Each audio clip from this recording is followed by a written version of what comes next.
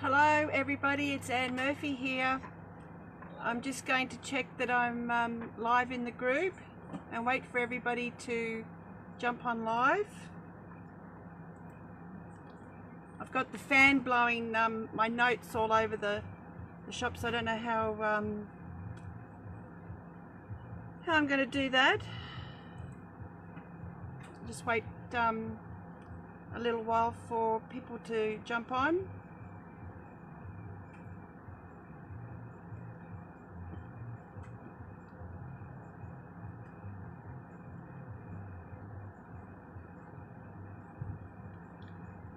Yep, I'm here. So, welcome everybody. It's um, Anne Murphy here from Domesblissity, and tonight I'm really excited to uh, talk to you about how to avoid clutter coming into your home. Um, it's something that I'm really passionate about. That's um, not clutter, but um, I'm passionate about not having clutter in my home, and I'm a bit of an organising freak, I suppose. I like to have things organised and have things in order. And um, I, I, have um, relaxed a little bit since I've had children, but it's always just been something that um, I've loved to do. It's a much better way of life living clutter free than it is having um, being surrounded by clutter. But um, that's not to say that I didn't um, live like this all of the time. When uh, something does come up, I've a life changing event like your marriage um, breakdown or the death of a family member, you know, can um, sometimes affect the um, the way you deal with clutter and you let things go, and all of a sudden it becomes a big issue. So I had to deal with that back in 2012, but I got back um, to how I, I like to keep things organised.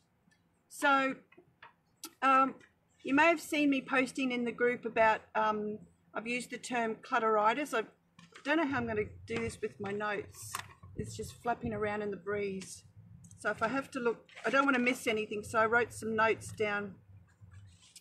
Um, and I'm very hot. I just had a shower and uh, it's very muggy here. So I'm just wiping my face. Um, wiping the perspiration off my face and um, trying to keep cool.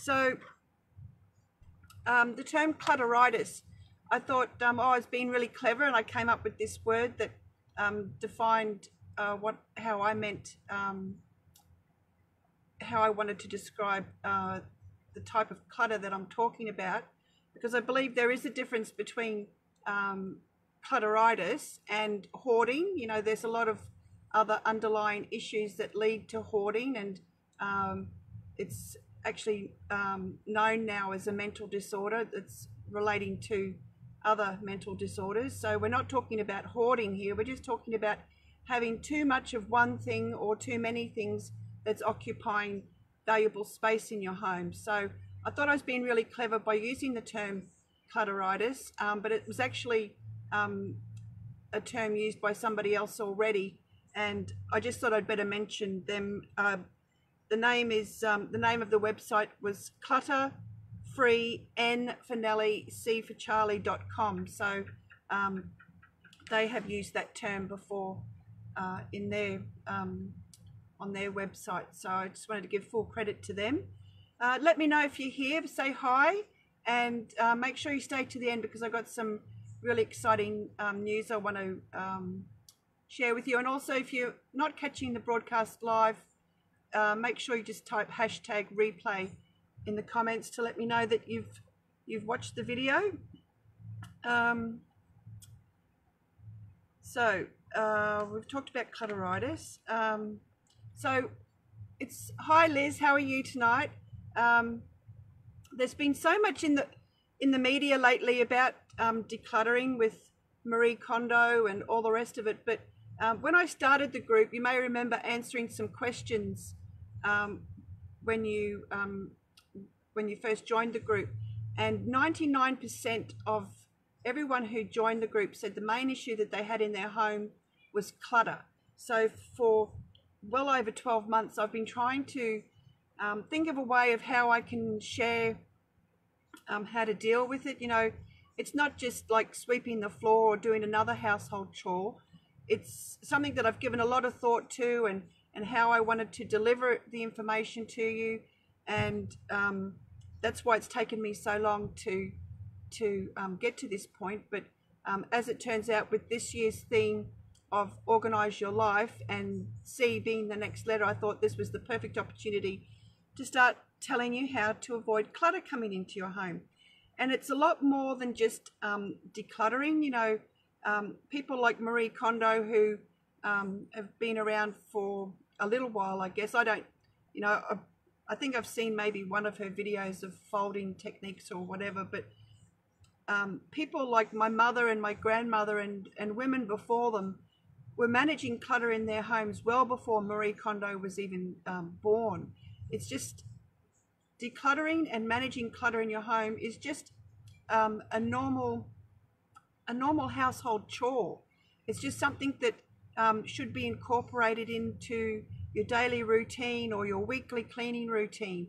When your children outgrow um, their clothes, when you outgrow your clothes, when you can't find the lids to your Tupperware containers, when the shoes don't fit, all these little things, you action them straight away and then you don't um, then you don't have this big problem um, later on down the track with having to, you know, I haven't even watched the Netflix shows of Marie Kondo. We don't we don't have Netflix, but you know, people that have just got so much stuff in their homes, I don't believe that the issue is being addressed on on how to avoid it coming into your place um, in the first place, let alone having huge rooms and cupboards of um, items to to have to declutter because you know heaven help you if you had to do that it would be a big job and it would be quite daunting so tonight i just want to talk about um, three ways that you can avoid clutter coming into your home. Now um, oh, this is annoying. I'll try and put them up here again. At least I can see them as I'm talking to you. Um, what I want to tell you about um, living clutter free is that it's that feeling of living clutter free, which is how I live every day, is far more enjoyable and satisfying than that moment of that impulse purchase that you have. You know, the impulse purchase, that retail therapy that people encourage you to do, you know, it's going to make you feel better. It might make you feel better for a short while, you know, the nice shopping bag they put your, your item in, you take it home, you try it on, you you know whatever it is that you buy, you use the candle or whatever, and then you think, uh, did I really need that? No. Well, it might get stuck to the back of your wardrobe or the back of your cupboard, never to be used again, and it becomes an item of clutter. So um, hear me out tonight. You may not like what I'm going to tell you, but like Dr. Phil says, I love this quote by Dr. Phil when he says, You can't change what you don't acknowledge. So if you're living in a home full of clutter and you don't acknowledge it, well, it's going to be a continuous cycle of um, clutter forming in your home and you having to deal with it and you being upset about having this clutter. So I'm going to just, you know, hit these three points. Please don't be offended. You know, I'm just trying to help.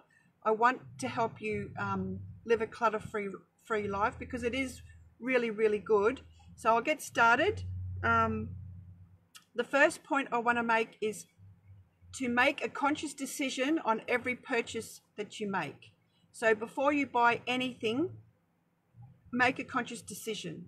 Um, ask yourself, do I really need it? And when you ask yourself that, you have to um, know the difference between a want and a need. Now, a need is something that I always put under the categories of food, clothing, and shelter. Now, they're the basic necessities for human life. We can't live without food. We need clothing to protect our bodies from the element, elements. We're not monkeys or tigers or whatever that's got a built in fur coat. We need clothes to keep us cool and we need clothes to keep us warm. I'm not talking about the latest um, Chanel designer dress or the latest Kardashians, whatever um, outfit, just for the sake of um, buying these things but really ask yourself do you need it um, same with shelter you know if you've got a roof over your head and you want you know that that's all you need. As long as you've got the money to pay your bills and your mortgage or your rent or whatever do you really need those cushions? Do you really need that new linen that is, going to match or is going to be um, in your new decor? You know do you really need it? Do you need matching linen? Do you need matching towels? Uh, if now I'm, I'm coming from a point of if you've got too much clutter. You know if you don't have any problem with clutter and you need new towels or new linen and you, you, you do need it, it's got threadbare or whatever, then buy it. But if you already have a problem with clutter, you need to stop. You need to stop making these impulse purchases, make a conscious decision on um, every purchase that you make and walk away, leave it. You know, even if you do online shopping, you uh, fill your cart if you need to and then just leave it. Don't um, spend unnecessarily on purchases. Always ask yourself, do I just want this or do I need it? And that's going to help you bring unnecessary clutter into your home. Um, and I and I'm very much one for treating myself.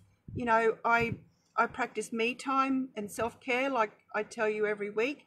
And it's not necessarily an object that I buy. I might um, get my hair done or get my nails painted or um, go for a coffee or high tea with my girlfriends. Rather, rather treat yourself with an experience that doesn't come with a product that you've got to try and find a place for when you get home. So that's number one. Make a conscious decision every time you purchase something and ask yourself if it's a want or a need. Number two, when you're going to buy something, does it serve a purpose? Now, this also relates to um, secondhand shopping um, and new new product shopping. There was a time there that every time I went to an op shop, like I could have been going to the op shop to um, buy something that I needed. You know, I, I, I may have needed a white T-shirt or um, you know some swimming um, costumes for the kids or whatever, and I'd always just have a browse around the linen because I've just got a real love for um, vintage linen. And there was a time there where I had probably 20 or 30 vintage tablecloths because, you know, I used them on the table, but I also thought, well, that would be good for a project. And my cub, my linen closet was just full of all these vintage tablecloths. So I had to make a conscious decision, you know, does it serve a purpose? I've got plenty of tablecloths already that are serving a purpose. Why was I buying all these other ones that was just forming clutter in my home? So um, but whether it's secondhand or new, ask yourself what what purpose is it serving. Um,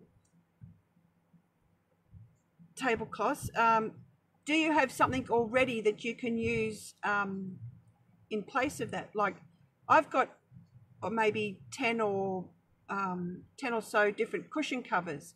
And instead of change, you know, going out and buying new cushions all the time, I just change the look in my home using those um, same cushion covers. They're just you know, basic colours, um, blue, yellow, um, red, that can be easily interchanged into any room of the house or any any look that I'm, I'm trying to achieve. It's not like if I want to change the look of a room, I've got to go out and buy all new decor. Um, what do I do with the old decor? You know, you put it in the cupboard or the back of a linen closet and think, oh, well, I'll deal with that one day. And the next thing you know, you've got clutter formed, then it's another big job. So um, also make um, ask yourself can you recycle it or can you repurpose it? Hello barbara. Lovely to see you here tonight from snowy yorkshire. Oh my goodness look at the perspiration dripping off of me. Um, it's dreadfully warm here tonight barbara. I hope you're keeping warm. Um, can you repurpose it or reuse it? Now you may have seen some photos that i've shared in the group um, just recently about um, uh, some of the storage solutions in my home. Things like uh, plastic containers that don't have a lid, you know, they make perfect uh, drawer inserts to store makeup or hair ties or things like that. You know, you don't have to go out to the shop to buy something in particular for um, for that purpose. Look at what you've already got.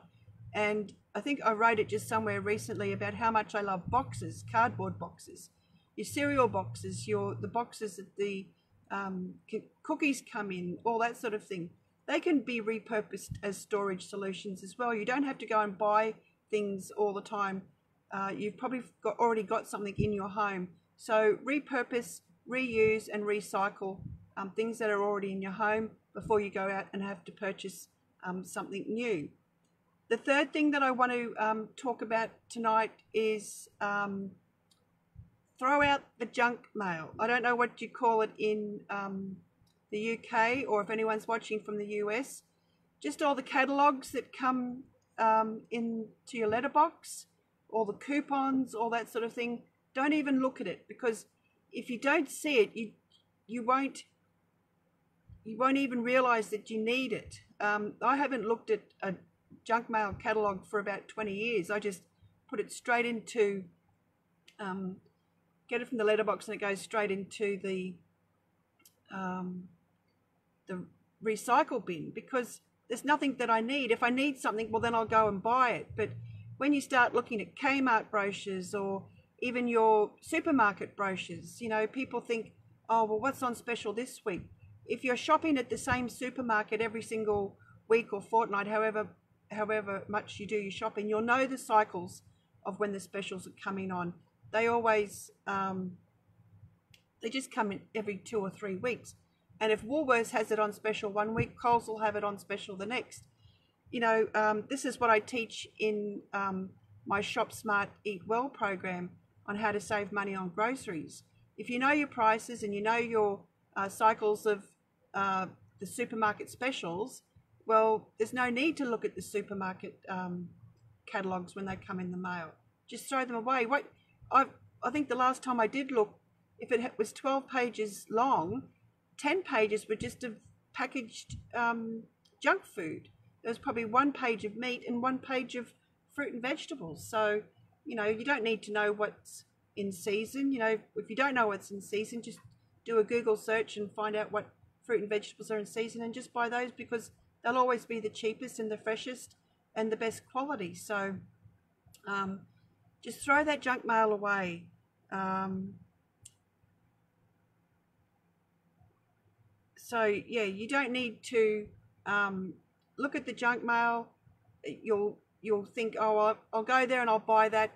You might spend ten dollars, and then um, by the end of it, um, you've spent thirty or forty dollars at the store, and then you've got to come home and find room for it. So these were just um, three things that I wanted to talk about how to um, avoid clutter coming into your home. I'll just go over them again for the people who have um, just recently joined. Make a conscious decision with everything you purchase. Um, identify whether it's a want or a need and just focus on the needs, on your basic needs. That is until you get over all the clutter and you've got yourself a really good routine and um, you can easily manage the clutter um, in your home, just like a part of your general household duties.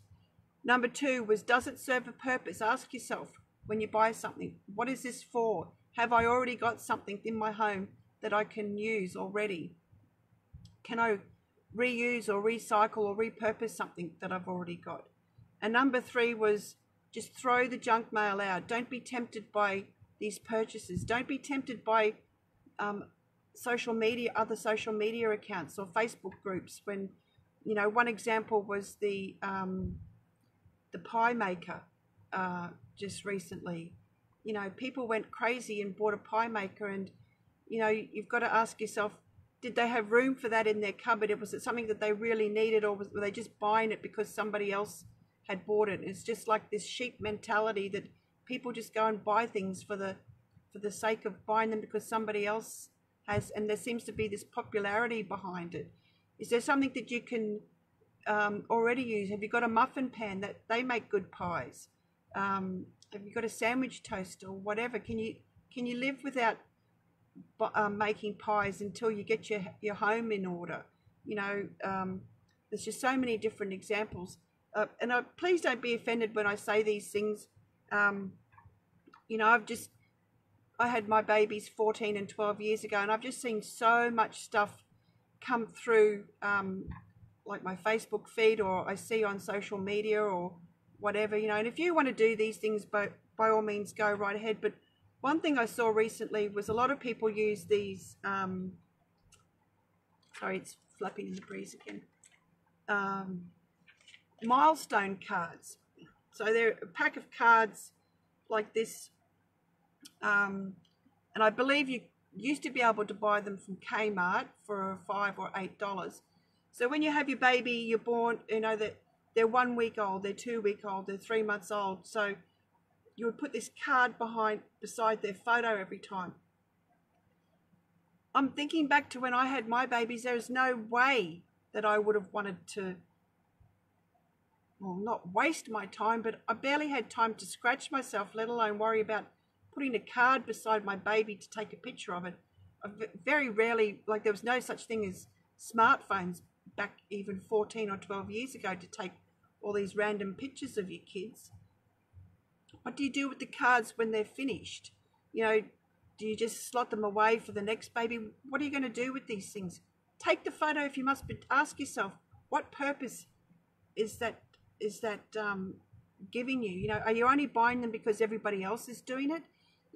I keep going on and on about it, but the the the feeling that you get from living clutter free outweighs any feeling of instant gratification of making that impulse purchase or following what someone someone else is doing. It's just so liberating, and it's just such a uh, an easy way to live your life, and it allows you to have all this freedom and time and money, so that you can concentrate um, on spending more time on the things that you love to do. You don't have to worry about those things. I find so much freedom in my in my everyday life that I just don't jump on these bandwagons that everybody seems to follow all the time. And I'm sorry if you don't like to hear that, but it's true. You know, you have to, like I said at the start, if you don't um, acknowledge, what did Dr. Phil say? You can't change what you don't acknowledge.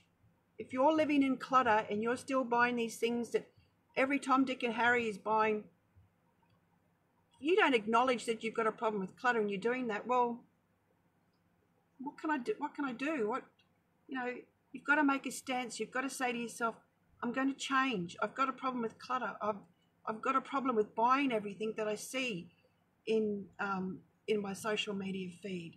You know, Christmas comes around. Easter's just around the corner. You know, are you going to go and buy a new Easter basket for the Easter egg hunt? I've never had an Easter egg hunt in my entire life. I've never given my children an Easter egg hunt. What's an Easter egg hunt? I've never been brought up with an Easter egg hunt. Uh, you know, like if you want to have an Easter egg hunt, you do that. But these are just things that my parents never did with me. I didn't do them with my children. I didn't know I had to do them. And it's been so liberating. Haven't had Easter egg baskets. I've made little, when the children did believe in the Easter Bunny, I'd just get a cardboard box and we'd put some little um, oh, I don't know, little blankets or something in there, and I'd put their couple of Easter eggs in there for um, for them to wake up to. They didn't know any difference. I actually asked my daughter the other day, um, does she remember being hard done by um, during Christmas and Easter, and did she feel like she missed out on anything? She said, no, why? What did we miss out on? I said, well, nothing really. I just haven't followed any trends. And it's just been so, so liberating that you don't have to bring these unnecessary things into your home. You live with all that you need, just like our mothers and grandparents did. Housework's a breeze. You just, you know, you do your laundry, you fold it, and you pack it away. You don't have have all these other things to deal with. And when you're cleaning your home, you don't have, you know, piles of paper and books and and things like that around, or whatever wherever the clutter may be in your home. So please, if you want to um, make a change um, to your life and become clutter free, these are, these are just some of the things that you need to do. And I'm only too happy to answer any questions um, in the in the group if you have any any questions about it. But I do want to share with you something. Um, like I said at the start, I have been working out a way of trying to um, deliver this information to you in a concise and uh, easy to understand and um, easy to implement system. So I have created a course and I've named the course The Cure for Clutter. So it's not only a, um, it doesn't tell you how to fold things like Marie Kondo, it doesn't tell you to, you know, take everything out of your closet, everything out of your kitchen drawer to, you know, out of, out of your kitchen to declutter it. These are just simple, easy to um, follow systems that are just like everyday household chores that anyone can implement. They are simple, they're basic, they're old fashioned. They're just like, um, this is just what I've done all my life. It's how my mother lived, my grandpa- grandparents lived. I don't think my, my grand, just thinking of my grandmother's house, there was, there was never any clutter. Everything had a purpose and she recycled like before recycling was ever even a word. You know, she was beyond, um, you know, beyond any recycling guru out there there at the moment. I want to tell you about this um, course, The Cure for Clutter. It's a three module course. It's delivered via email and it um, it's over the course of three weeks. So three modules over three weeks. There's no pressure. There's no um, strict schedules. There's no room by room schedule. So you don't have to start at the bathroom or bedroom or whatever. They're just simple, easy to uh, easy to follow steps to help you um, cure you of clutter forever. So um, I want to emphasize that. Uh, it'll touch on um, how to stop the clutter coming into your home. Basically, what I've talked about um, tonight, plus a few other things. How to get ready, how to prepare yourself for dealing with the item, like how to um, stop feeling overwhelmed, how to make a start, how to um, handle sensitive uh, sensitive items or items not sensitive sentimental items. Um, I have still have so many things um, that I've got to um, deal, but it's just a slow, ongoing process. And then the third um, module is just all about how to incorporate that into your um, everyday life. And you'll be cured of clutter. You won't have to worry about this ever again. So the cure for clutter has um, just been released tonight. Um, it's currently 50% off until the 12th of February, so for nearly two weeks, uh, until 7.30 on the 12th of February, Brisbane time. And I really want you to consider um, giving it a go. For the next two weeks as well, I'll be still um, popping up in the group telling you about um, clutter and how to um, declutter uh, certain things. I'll even be showing you how to deal with some sentimental items um, that I've got to deal with. But I'll drop the link in the group um, in this live for um, the course. Um, it's just going to transform your life. I really want you to um, find this this different way of life if you're having problems with clutter. Um, it's just, you know, not everyone's blessed with the organizing gene. I understand that, and it might be hard for people, but um, you know you've got to acknowledge if you if you do have a problem that um, there is a better way of, of life and, and it doesn't come from impulse shopping doesn't come from the instant gratification of shopping. Like and i still love shopping but like recently i we're going away to the beach for a couple days um, in a couple weeks time and i needed a new pair of togs uh, swimming swimming togs swimwear and um, $90 brand new these were but i knew that they always have their end of season sales well before the season finishes and I got them for 19. You know, I, I could have bought them for 90, but you know, uh, you've just got to know your prices and know know when to buy things and and also I'll drop the group uh, drop in the this broadcast about um, the Shop Smart Eat Well program as well. Um, the link to join the group if you're not already in there because I had someone today um, post a comment about um, hi Erin if you're watching. Uh, they had gone they tried out the Shop Smart Eat Well program and she only spent $124 compared to the $800 a month she normally used to spend. So um, I'm really proud of her and she's just proven that my method works. And you know grocery shopping is just another one of those things that you can um, easily accumulate. So many things in your pantry, fridge, and freezer that you don't necessarily need. Hi, Jeanette. How are you? Jeanette says, I have started decluttering and amazing what I seem to amass. I've only done walk-in robe and ensuite and have carted out 10 bags. Well, congratulations, Jeanette. What a start. That's fantastic. Um, it's That's really, really good. It's, um, it's, it's going to be a, a long, slow process if you do have a lot of clutter, and that's okay. You can only do what you can do, but once you've got it under control, it's just another part of housework. It's just it's just like sweeping the floor, washing the dishes.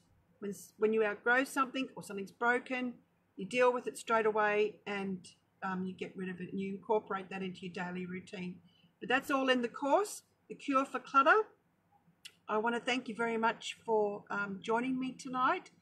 Don't forget to check out the Shop Smart Eat Well Facebook group too, because I do share my grocery shopping hauls and what I um, cook every night uh, in in that group. And my budget is $150 per fortnight.